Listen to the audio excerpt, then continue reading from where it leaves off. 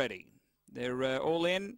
Just having the door shut behind the favourite. The green light activated. Here comes the bunny. Uh, we're set to race. Race four of the night here at Angle Park. Long Gully Surf, the top pick. Away, out only fairly Long Gully Surf. Very good speed. Yamika Bale's going to pounce on the lead. Out by three in the early part. Over Steffi McLaren and four away. Ducktail Jiver. Uh, railing up hard now Long Gully Surf, but spots the leader a fair margin. At least eight lengths with a lap to run.